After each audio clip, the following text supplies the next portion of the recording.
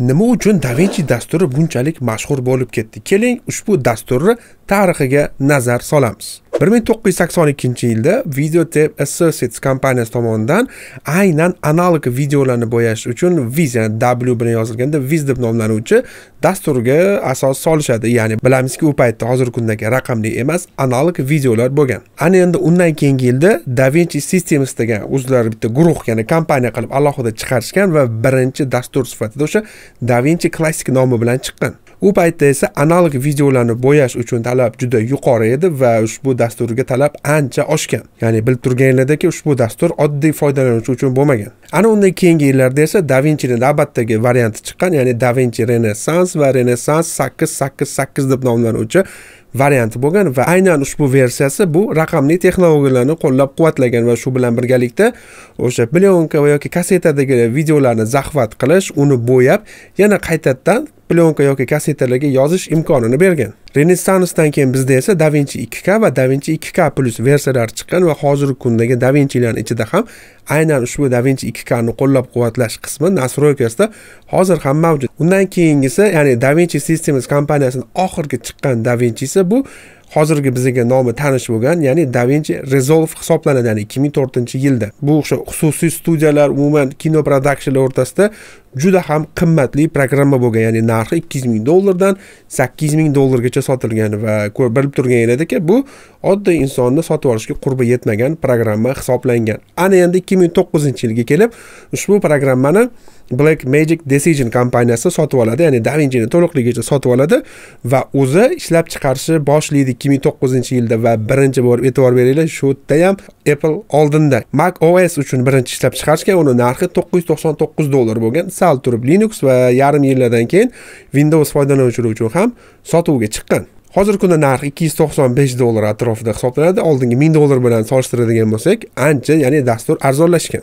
Ya'ni tarixiga nazar solsak ham o'zi da vinchi color sohasida umuman boshqacha yo'nalish bilan kirib kelgani uchun hatto analog videolar paytida ham hit bo'lgan bo'lsa ana endi raqamli texnologiya kirib kelgandan keyin ya'ni hozirgi kunda ham o'zi da vinchini tanilishiga sabab bu color bo'limi hisoblanadi. Biz bilgan hozirgi kundagi color ya'ni videolarni bo'yash uchun haqiqiy ya'ni istalgan foydalanuvchi olib professionallar kabi bo'yash imkonini beruvchi dastur hisoblanadi va blackmagic kompaniyasi faqatgina color bilan cheklanmasdan ikki ming o'n uchinchi yildan boshlab sekin sekin unga montaj texnikalari ya'ni montaj uchun mo'ljallangan turli turli instrumentlar yangi yangi texnologiyalarni ko'p ko'p qo'shib qo'shib keldida davinchi o'n yetti versiyadan boshlab ana endi davinchi dasturi ham to'laqonli noldan o'sha pro darajagacha montaj qilish imkonini beruvchi haqiqiy to'laqonli programmaga aylandi.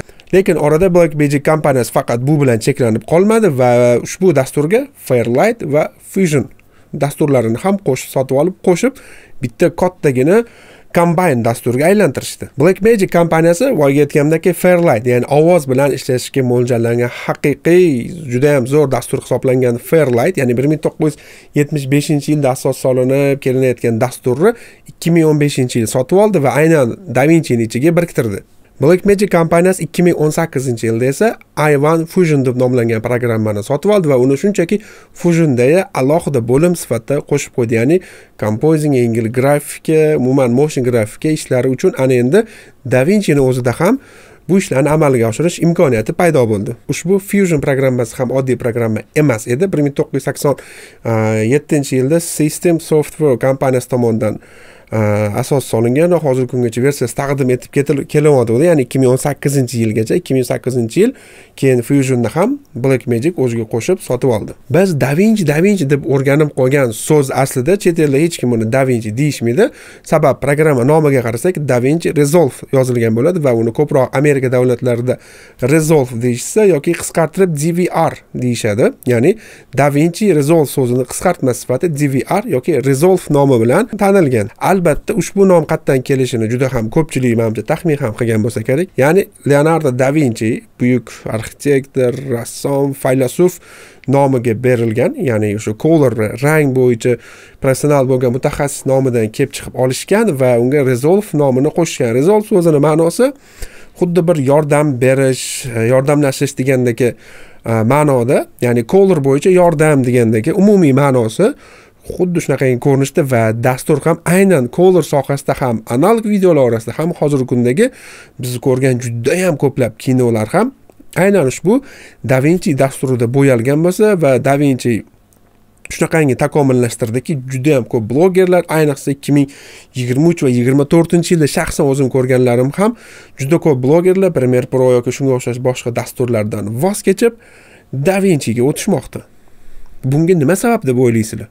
Shunchaki kommentariyga davinchi deb yozinglar va biza afzalliklari va kamchiliklari haqida ham davinchi haqida alohida videolar qilamiz. O'ylashinglar mumkin. Davinchi shunaqangi zo'r ikkita programmalarni qo'shib sotib olgan ekan color bo'yicha zo'r bo'lgan ekan endi montaj bo'yicha ham zo'r. Nima uni kamchiligi yo'qmi deb. Albatta kamchiligi bor.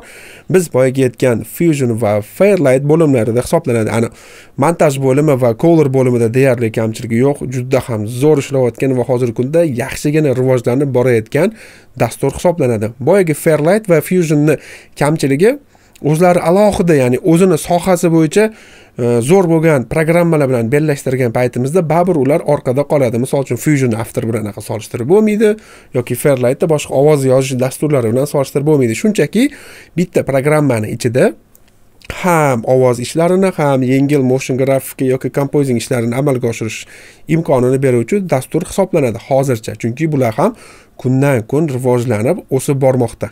Va davinchini eng afzal jihati ham u sekin emas yaxshigina katta suratlarda o'smoqda va boshqa programmalarga o'xshab premiere proga o'xshab har yil emas ikki uch yilda bir marta yangi versiyasi chiqadi va yaxshigina katta o'zgarishlar bilan chiqadi. Hozir ikki ming yigirma to'rtinchi yil o'n to'qqizinchi versiya taqdim qilingan bo'lsa o'n sakkizinchi esa ikki ming yigirma ikkinchi yilda taqdim qilingandi.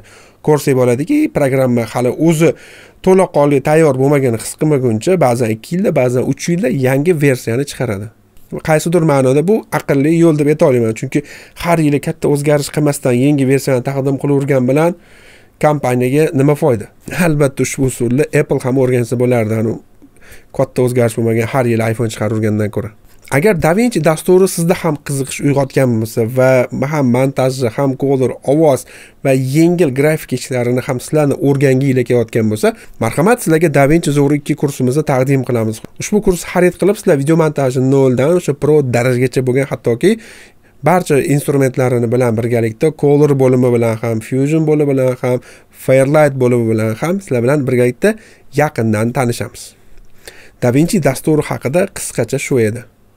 Marhamat kommentariyalarga o'z fikringlarni yozish va yaqin do'stinglarga yuborib qo'yish esdan chiqmasin.